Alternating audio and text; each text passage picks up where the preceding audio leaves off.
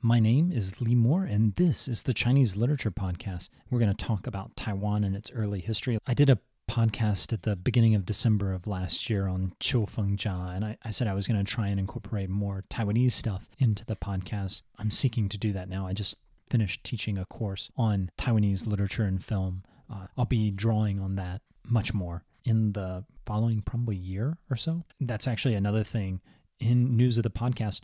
I just this week turned in grades. I'm so happy. I'm so relieved to be done with teaching for a little while. I don't know if I'll get the opportunity to teach again. It was really, really fun, but also very draining. This quarter, I taught two classes, each about an hour and a half long, but it really became a full time job.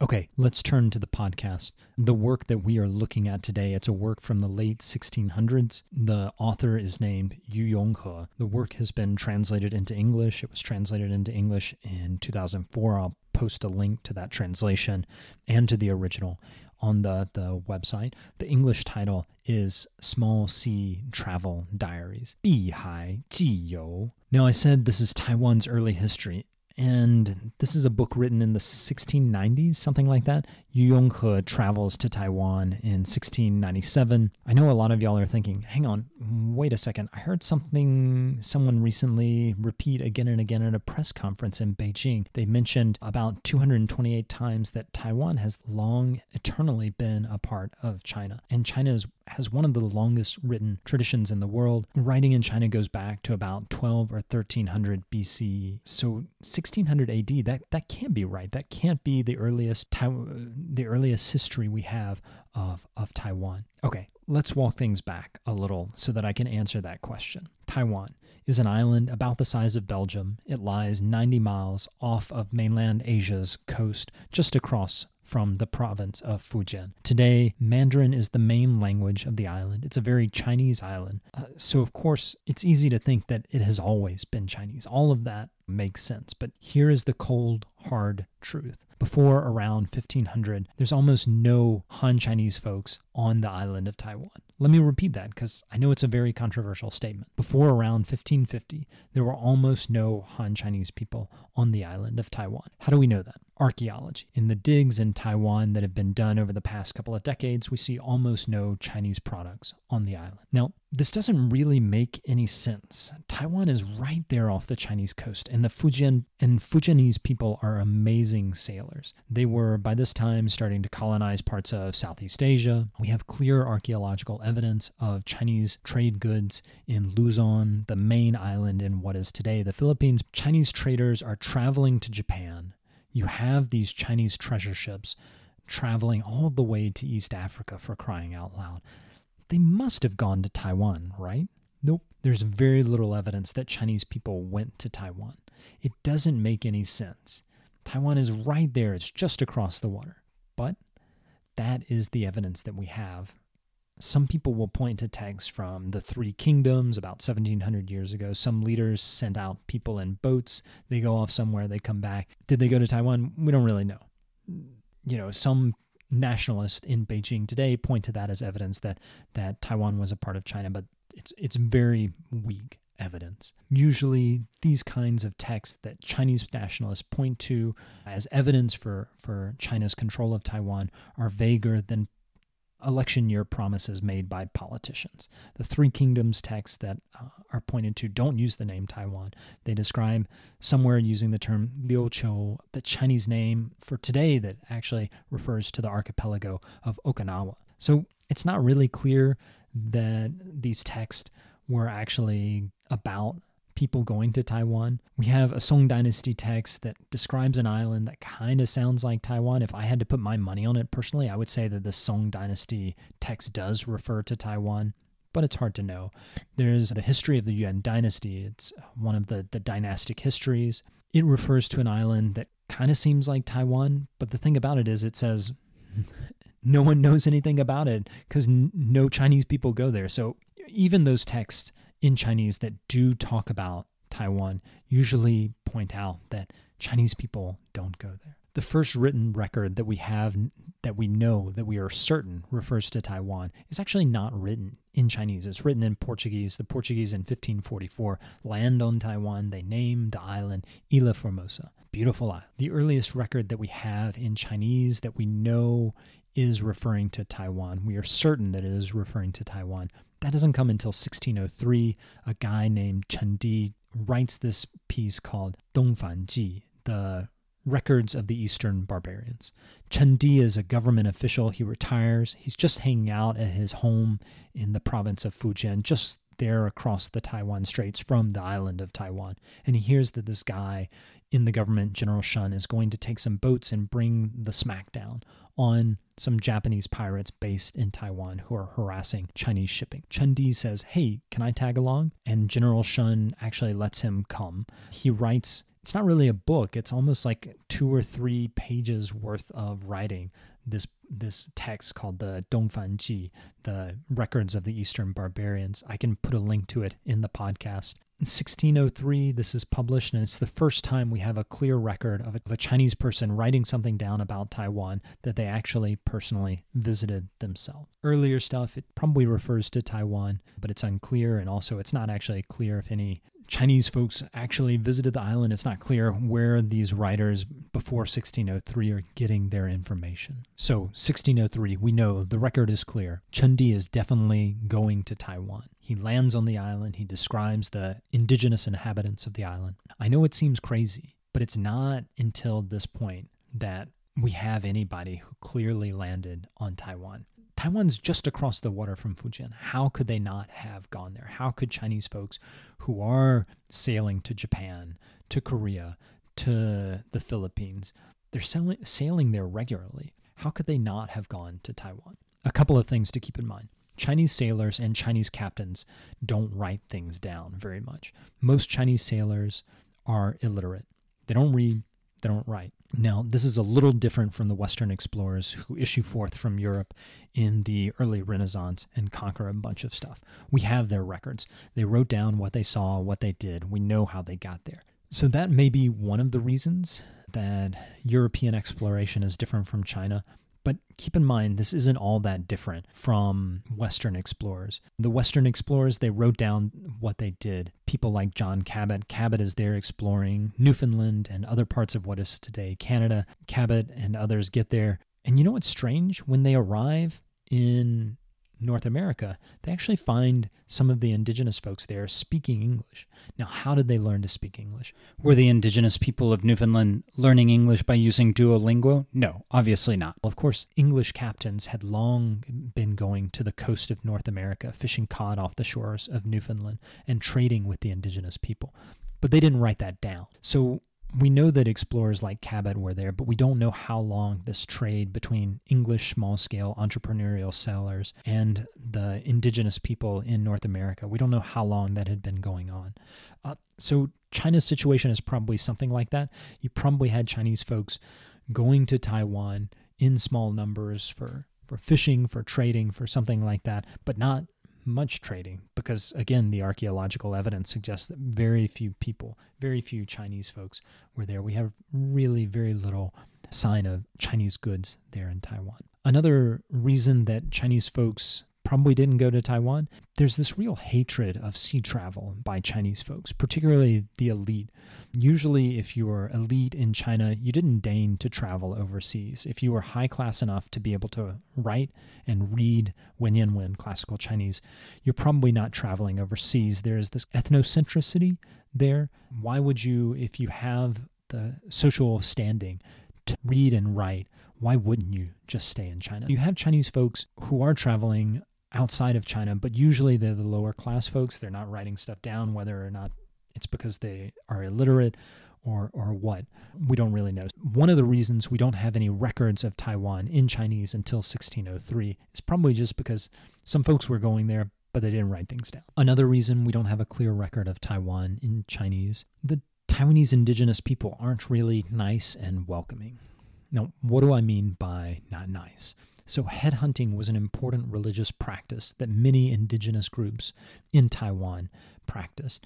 They believed that to cross the Rainbow Bridge to get access to the good things in the afterlife, you have to kill someone and take their head. Heads of one's enemies become a status symbol. People would hang the heads of folks that they had killed outside their house. They would use those heads as pillows. I don't have a PhD in anthropology, but it strikes me that the Taiwanese indigenous folks might not have been super welcoming of foreigners landing on their soil and saying, Hey, we are from China. What do you want to trade with us for this awesome porcelain that we have developed here in China? this is just speculation, but it's well informed speculation. Those are two reasons that that we have really very little evidence of Chinese folks on the island of Taiwan before 1550. Now, here's a really brief history of Taiwan from that first contact in the 1550s to the point where we have Yu Yonghe writing down what he sees. If you want something a bit more in depth, check out Laszlo Montgomery's series on Taiwanese history. I'll drop a link to that in this episode's uh, page as well at ChineseLiteraturePodcast.com. So there are a few Chinese folks coming to Taiwan in the 1550s, 1560s, that period for the next uh, 70 some odd years. In the 1620s, Taiwan is conquered by not the Chinese, but the Dutch. They rule Taiwan until the 1660s. They have a colony there based in what's today Tainan. Um, of course, all of y'all know that in 1644, something really important happens in China, the Ming dynasty collapses and the Qing dynasty takes over. One Ming loyalist, uh, his name in, in English and the rest of the West is usually Koxinga, but in Chinese he's named uh, Zheng Chenggong. He is fighting the Qing along the southeastern Chinese coast. In 1659, he tries to invade Nanjing near modern day Shanghai. His invasion fails spectacularly.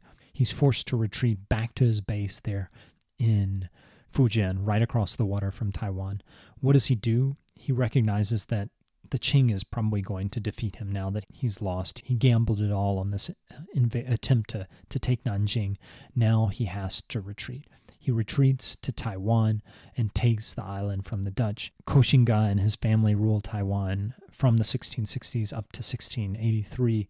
And then the Qing dynasty gets their act together and they invade Taiwan taking the last of the rulers of the Koxinga regime.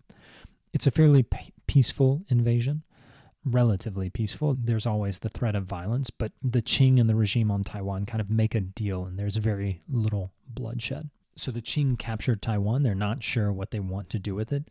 The Kangxi emperor, he calls Taiwan just a quote, ball of mud, end quote. Why would Kangxi want to keep this little ball of mud. Some in the Qing wanted to give Taiwan up, but Admiral Shi Lang, he's the man who conquered Taiwan, he says, hey, if we give it up, some barbarians are just going to come and take it and threaten us from Taiwan. So rather than giving up Taiwan, the Qing actually takes control of the island and decides to keep it uh, but it has this amb- ambiguous re- relationship with Taiwan all the way really until 1895 when the Qing give up Taiwan. That's a super brief outline of Taiwanese history, just to bring y'all up to speed to where our text comes in. Yu Yonghe. Who is Yu Yonghe? We really have almost no information on him. He was born before 1650, but we don't know when. He is from an area right outside of Hangzhou.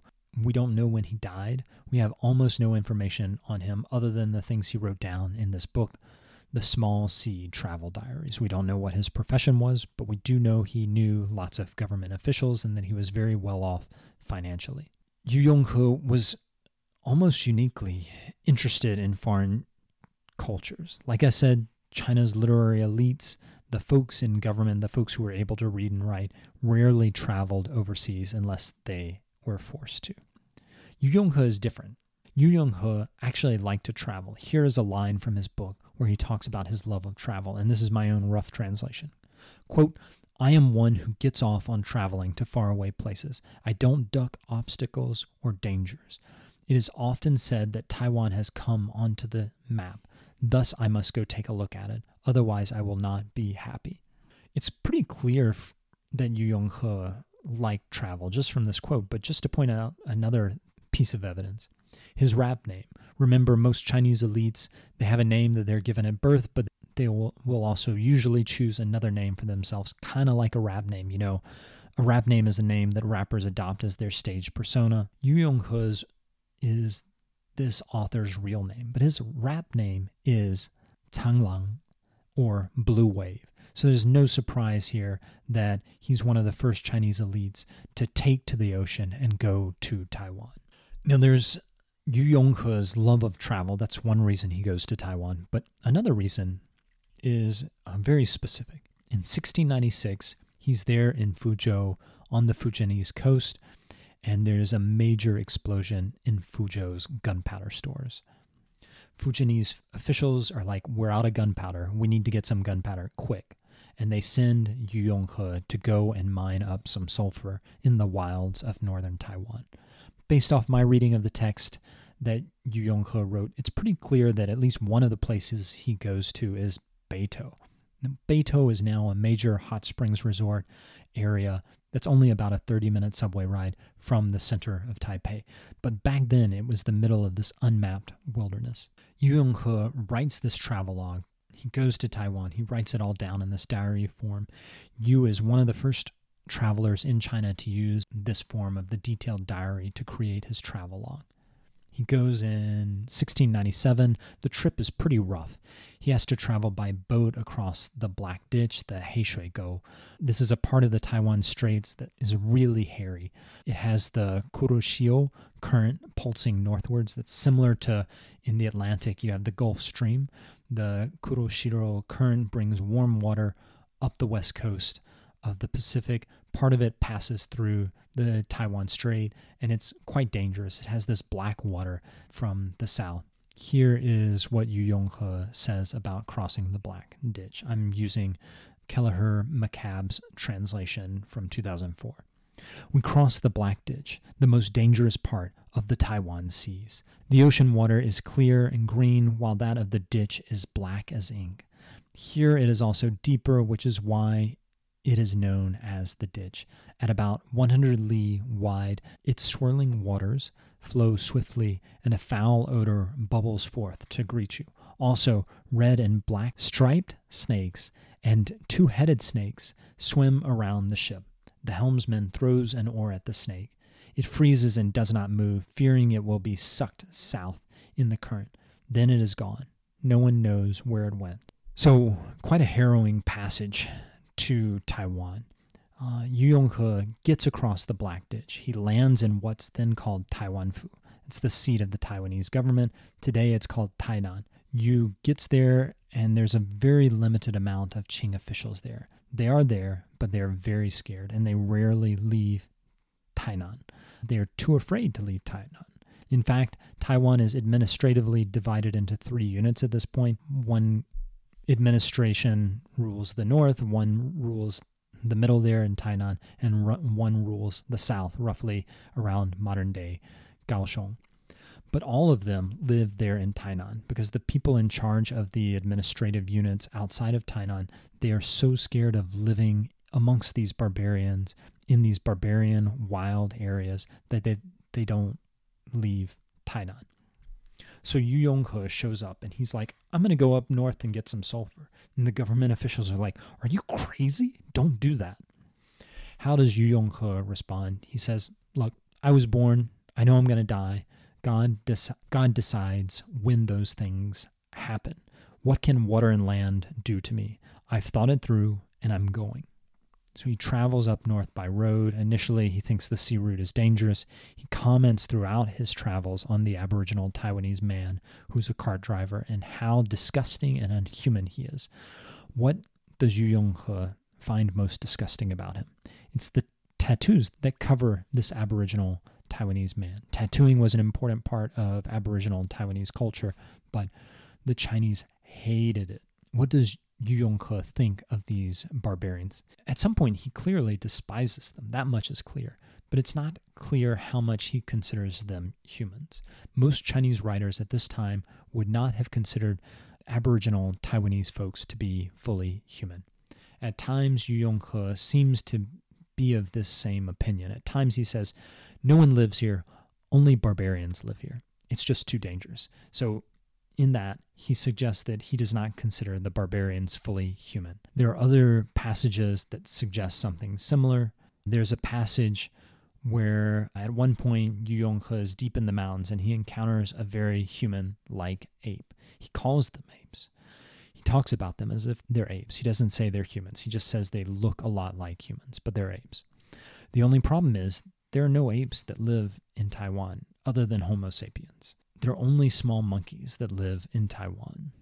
In this passage, it seems clear he must be talking about these Taiwanese aboriginals who live deep in the mountains, but Yu Yonghe is convinced they're not humans, they're actually apes. So all of that suggests that Yu Yonghe is part of this racist vein in Chinese thinking that considers all non Chinese folks to be somehow subhuman. But then there are these other passages where he's surprisingly sympathetic to the Taiwanese aboriginals in a way that I think marks Yu Yonghe out as different from other folks. So Yu Yonghe criticizes other Chinese writers who say, you know what, these Taiwanese folks, they're not humans, they're animals. Yu Yonghe says, no, that's not correct.